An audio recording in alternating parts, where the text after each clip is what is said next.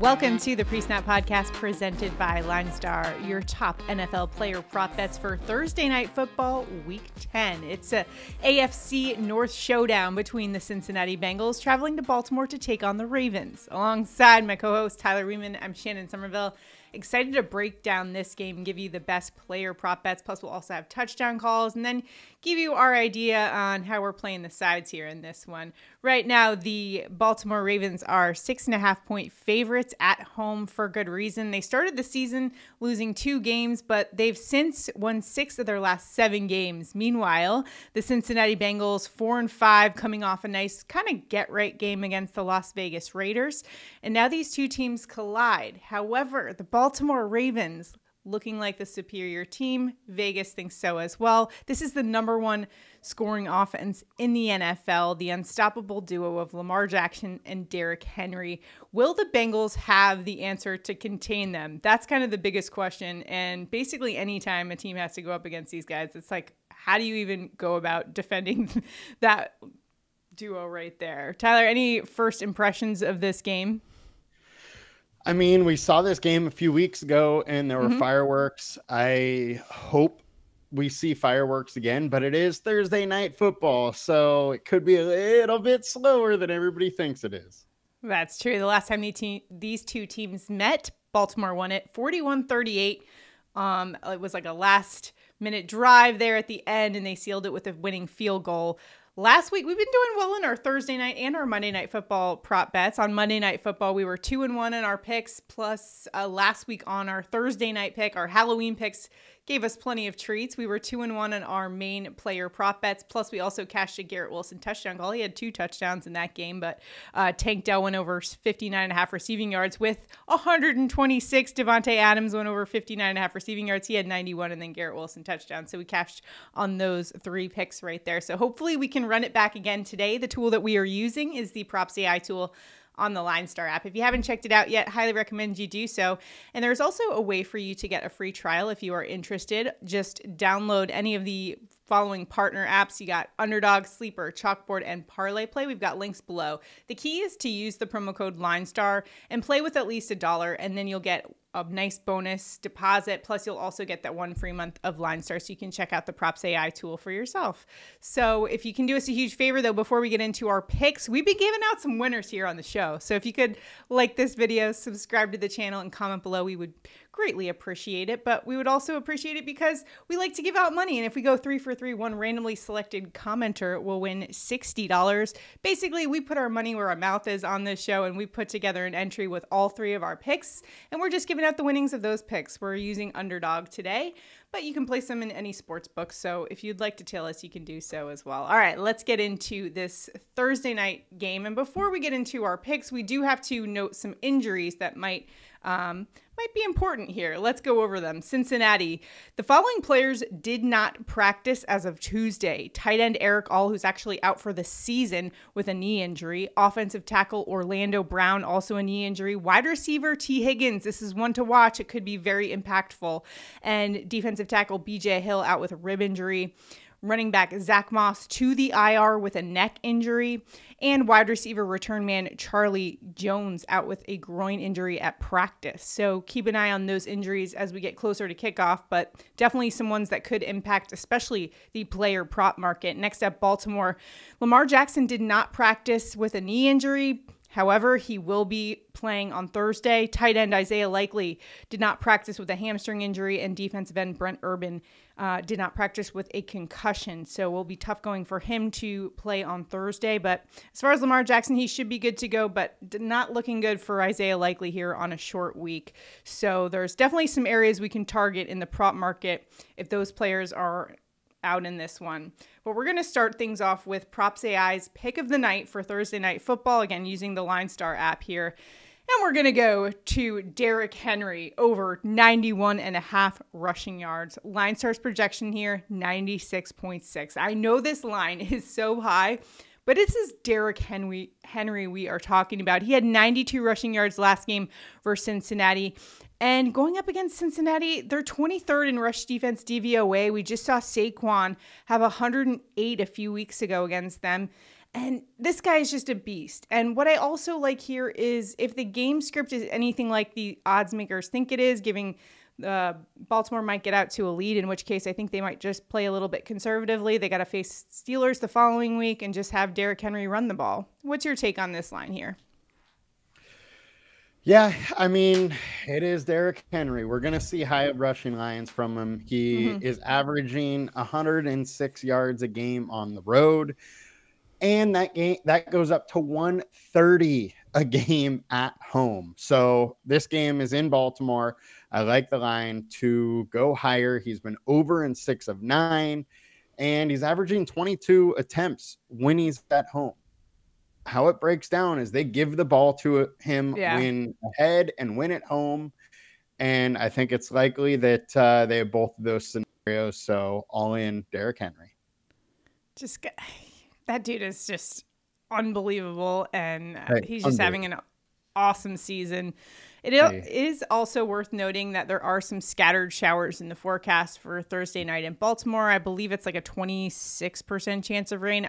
Tyler, I know you're not someone who you know, puts too much weight into you know the weather forecast in this one. You got to be careful about it because a lot of times we tend to overestimate how much weather is going to impact things but it is worth mentioning there um, that there is some weather in the forecast. Sometimes if it's you know raining too much obviously that lends itself to more of maybe a ground game less passing that sort of situation.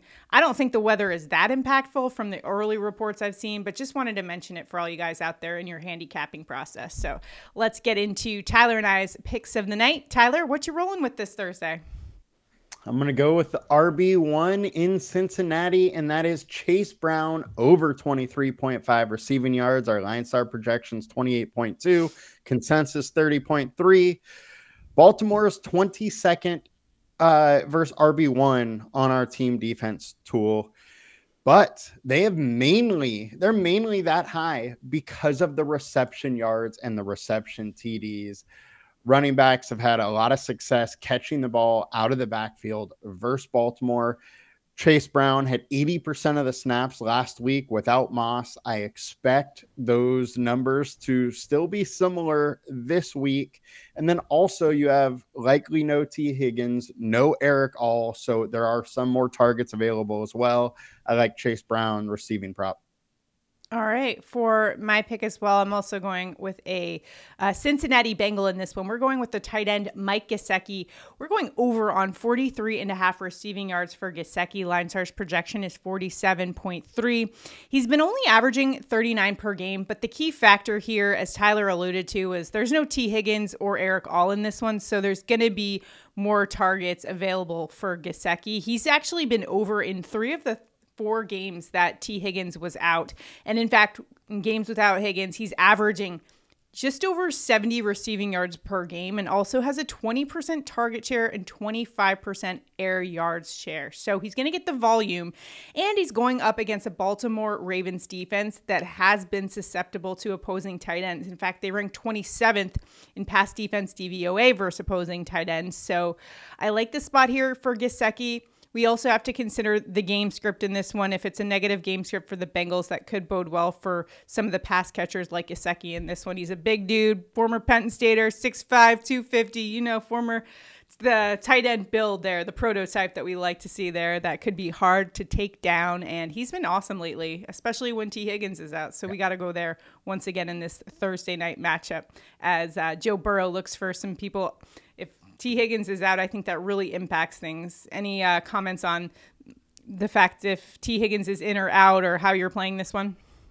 Uh, yeah, T. Higgins being in or out does change this big time. I mean, he yeah kind of works as the wide receiver two when T. Higgins is out. I mean, leaving Miami, they tried to have him franchise tagged as a wide receiver, not a tight end, because he played the slot so much.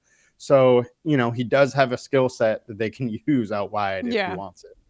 So, all right, that's what we're rolling with on underdog. Derrick Henry on his rushing yards, Chase Brown over receiving yards, and Mike Gesicki over on receiving yards. Hey, if there's any game to take the over on, it's one that's got a game total of 52 and a half on Thursday night football. Tyler, I know that you kind of tend to to be wary of those Thursday night football games that tend to be a little bit slower in this one. But uh, these are two very high powered offenses that it could be a fun game in this one. So those are the three we're rolling with. If you'd like to tell us, you could do so on Underdog. Remember to use that promo code LineStar when you first download Underdog or any of our partner sites that are listed below so you can get the deposit match plus that one free month of LineStar. And if you haven't already by this point in the show, do us a huge favor, like this video, subscribe to our channel, and comment below because it enters you into our contest. If we go three for three, one randomly selected commenter will win $60. We've been giving out a lot of money over the last few weeks, so hopefully we can do so once again after this Thursday night contest. And we will announce the winner on the next Thursday night show, just so you guys can come back and make sure to tune in to see if we gave out a winner or not. All right, let's get to touchdown calls of the game. Tyler, where are you headed for an anytime touchdown in this Thursday night AFC North showdown?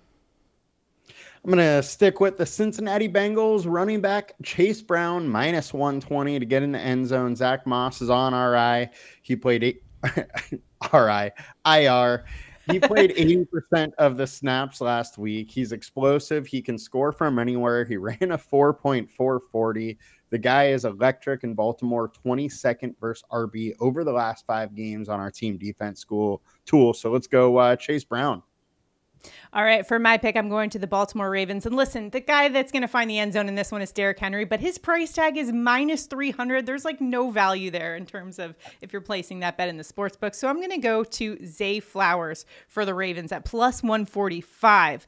Three touchdowns on the year, including two last game against Denver. And he's been an absolute beast over the last five weeks or so. He's had over 100 receiving yards in four of the last five games, and the only one he didn't, he was kind of hobbled by an ankle injury. Going up against the Bengals, who are 20th in pass defense DVOA versus wide receiver ones, and they're also 27th in opponent red zone scoring. I think this could be a great day for Zay Flowers. His connection with Lamar Jackson just looks awesome. And overall, this offense is just humming on all cylinders right now with Todd Monken at the helm, calling all the right shots for that offense.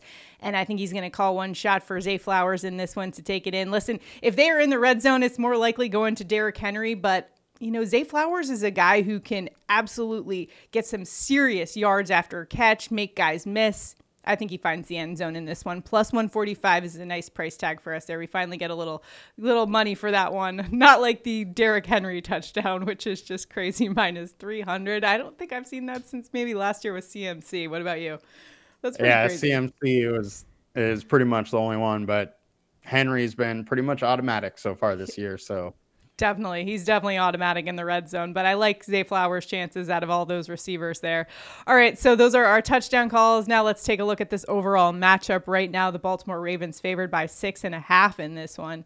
The game total, I want to mention that one too 52 and a half. I think a lot of people might be playing that because, listen, over, let's see, the over is hit in uh, six and three in nine games the Bengals have played this season. Eight and one in nine games the Ravens have played. So I could see a lot of people maybe shading to the over in this one, maybe playing the game total. How are you playing it? I mean, I I won't be playing the total. I won't be, you know, actually betting on a side, but I do think the Baltimore Ravens win, especially, you know, at home. They've yeah. kind of had the Burrow's number the last uh, season and a half or so, and I think that keeps going uh, Thursday. I agree. I think a huge factor in this one for me is actually T. Higgins. If he is out in this one, I just think the Cincinnati Bengals really struggle. They don't really have much of a run game, and the Baltimore Ravens have a pretty good defense. I know that you know, there is the chance that Burrow kind of goes off with Ja'Marr Chase. That connection is pretty lethal, especially considering the Ravens have been a little uh, on their back end, on their on their secondary. They've been susceptible to the deep ball, so look out for that one. But I think without T. Higgins, it's a lot easier for defenses to game plan and just really lock down Chase. So I think that's a huge factor in this one for me. In and if T. Higgins is not in this game, I got to lean with the Ravens to to cover and uh, beat beat the Bengals by at least a touchdown in this one. I feel like I haven't seen as much consistency from the Bengals week in and week out. Yes, I know that the Ravens did lose to the Browns a couple weeks ago. I haven't forgotten that, but I think ultimately altogether the personnel for the Ravens is just like so talented. It's stacked everywhere you look. It's like a star. Everyone's having awesome seasons for fantasy purposes. I know a lot of people are crushing it this season because they've got either Lamar or Derrick Henry or or uh, Zay Flowers, any of those guys. Mark Andrews could have a day as well. Um, I didn't, by the way, Mark Andrews' line got a little high. That I should note that one because that might be a popular one for people to take. It started at like 32 and a half, and Tyler, after news that um, let's see, uh, Isaiah Likely was once again on the injury report. That shot up to, uh, I think it was 42 or 43 and a half. And, and that just got yeah. too high for us to take. That was initially one of the ones um, that I wanted to take, but it just got too high for me. So that's another one there. Another one I do like, I should probably mention, I kind of like Zay Flowers as well. You could go with that, and LineStar likes it. Right now, the line is 59 and a half receiving yards. LineStar's projection is 67 consensus is there as well at 64. Um, I mean, he had 111 receiving yards the last time he faced the Bengals. The only thing that I think about is if, you know, the Ravens get out to kind of a lead in this one, they could shy a little bit away from the passing game and just kind of give it to Derrick Henry. That's the only, and the addition, of course, of Diontae Johnson. I'm curious to see how, you know, he's going to fit into the mix there. That's also an exciting, uh, acquisition for them. So, either way, should be an awesome game. Let us know if you've got any locks for this Thursday night contest. We're all trying to help each other out and beat the books. So, you know what to do. Drop your locks in the comments. And uh, it also enters you into our contest. So let's go three for three on our picks, cash some touchdown calls. Let us know what you got. We'll see you guys next time. Enjoy the game.